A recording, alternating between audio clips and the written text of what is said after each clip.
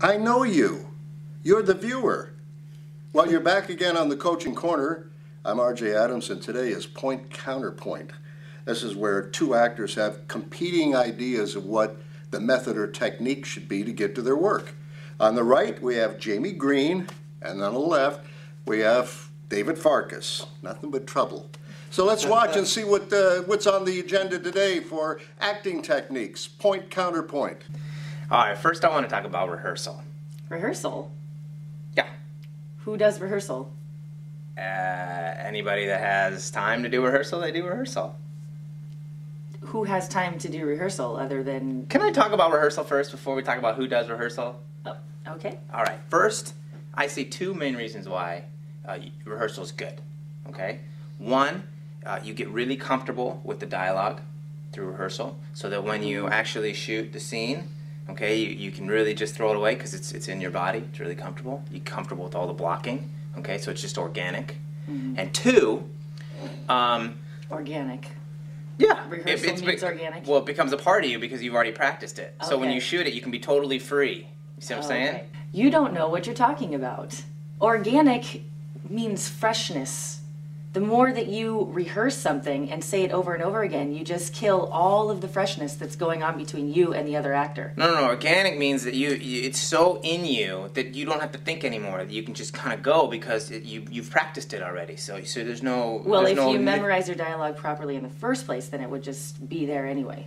So you wouldn't need to rehearse it in order for it to feel organic. You But- would just already know it. But there's And so many other come out of you. things going on. You know, the, the movement, the different stuff happening. You know, maybe you're eating. You're talking about the theater.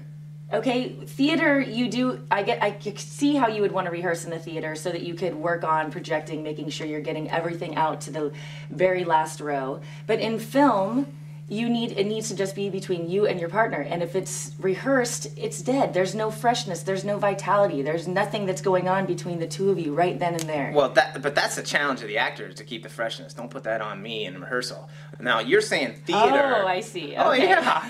Oh come on, you're gonna hey if you're gonna do ten takes in front of the camera, you know what's the difference between ten takes in front of the camera and five rehearsal and five takes? You know what I'm saying? It's still ten takes. In film and television, the production costs are so high that they want you in and out. If you're gonna cut right, so, So why not get it right and then you don't have to do as many takes? those takes that you're talking about, those little maybe mistakes that you're talking about, maybe making if you don't rehearse, that is the magic of film and television. Mistakes are the magic. Yes. That, those are the magic. They're called happy accidents. You, it's what happens between No, two no, actors when they're really engaged No, in each other and they're listening and they're just hanging out together having a conversation. The conversation. magic happens when you're so comfortable with everything that you can let your juices flow.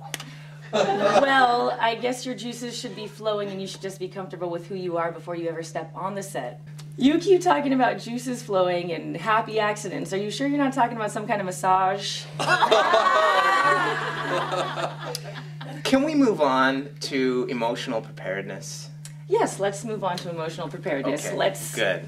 grace me with your knowledge of emotional preparedness. Okay, well, my first thought on this is actually an anecdote. I know you like anecdotes. Mhm, okay, I remember I was watching an interview with Tom Hanks, Okay. Saving Private Ryan. You've heard of him? Uh, before that big scene where he cries in that little foxhole, you remember that scene Mm-hmm. where he cries, really memorable scene. He said he was saying that Spielberg told him the day before, you know, you're going to be crying in this hole, and he he was saying in the interview how much he appreciated uh, that heads up so he could prepare for that moment, right? And so he's got to find that place. Uh, nobody else is there. He's got to go. There's action, and then he just cries. You see what I'm saying? So his method, he had to he had to draw on something to get that emotional place. And and, and Yeah, yeah, he had to draw on the fact that he was in a foxhole and all the men that he's surrounded by are being killed and slaughtered and murdered. I can't tell you what he was doing, but first of all, it's not sense memory, it's affective memory. And that's a Strasberg method. And if you're going to talk about it, at least know what you're talking about, okay? Okay, you're right. What? Emotional preparedness for something like that is probably just being prepared that you're about to be in a battle. That's all you need. If you are living in the reality of the situation that the production company has set up for you, which they do a fantastic job of, then you don't need affective memory.